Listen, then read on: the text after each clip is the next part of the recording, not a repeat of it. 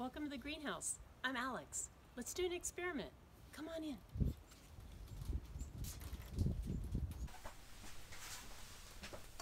So the greenhouse is a great place to talk about the greenhouse effect. And we're going to do that today by creating a, an experiment in this little tiny jar. We're going to recreate a greenhouse right in here. But first, let's talk about the greenhouse effect. And to do that, I'll bring up a graphic that'll help us understand what's going on. In a greenhouse, we have sunlight entering through the glass. The glass is transparent to the visible part of the spectrum, and that's what the sun gives off most of. That visible light passes through the roof of the greenhouse and it warms up everything in the interior. The warm interior also is radiating energy, but the energy that it radiates is in the infrared part of the spectrum, not the visible. The glass blocks the infrared, it absorbs it, so it's not transparent to infrared the way it is to visible light. Now, when we talk about the greenhouse effect in the larger environment, in the Earth's atmosphere, the thing that is absorbing the infrared light are gases like carbon dioxide and like methane. And those gases also absorb outgoing infrared energy.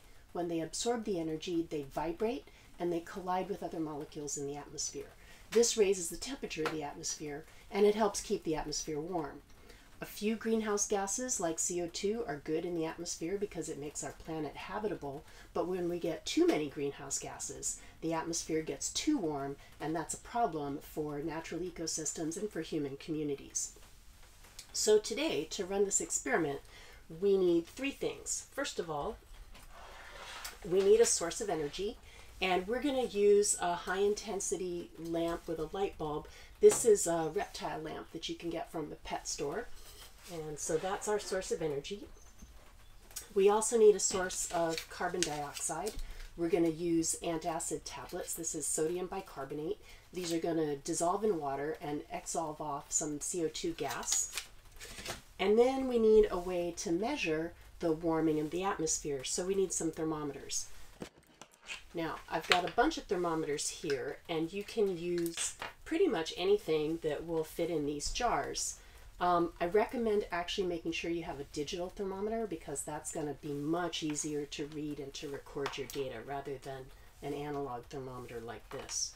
What I'm going to use are some um, lab thermometers that I can plug into the computer and this will allow us to collect the data and record it in real time and see what's happening as our experiment goes on.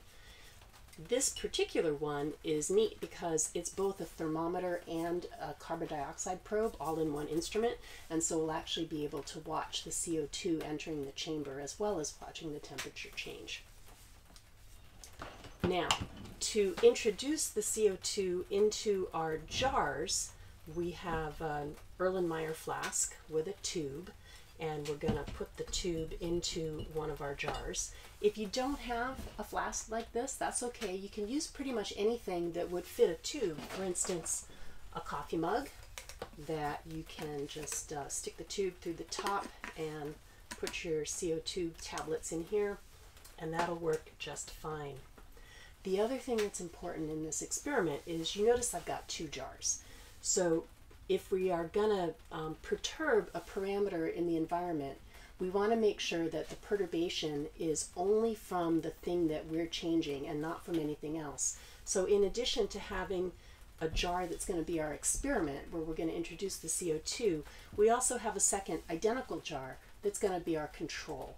And in this jar, nothing's going to be happening. We're not going to perturb it in any way, but we're still going to monitor the temperature so that we'll have a comparison. Now, the other thing that's important because we're going to be uh, warming these jars up with this lamp, we also want to set everything up and let it equilibrate with the light on before we start measuring any kind of temperature change because the, the jars are going to warm up just from sitting under the lamp. And we want to make sure that they're all warm and ready to go before we introduce our carbon dioxide and see what happens from there. So I'm going to give this about 10 minutes and then we'll come back and we'll start our experiment.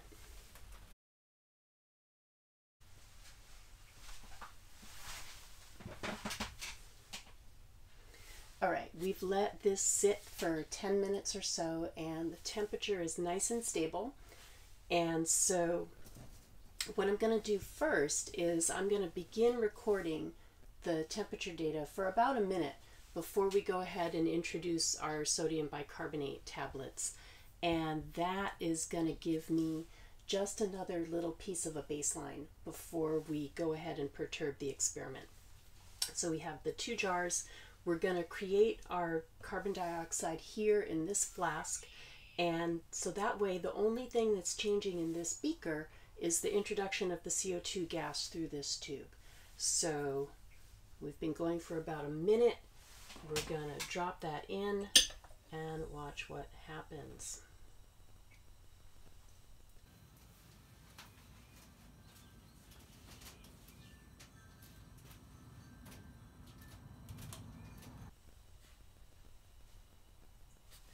So pretty quickly we can see the carbon dioxide shoot way up. We've used four tablets, which is enough to flood this jar with CO2.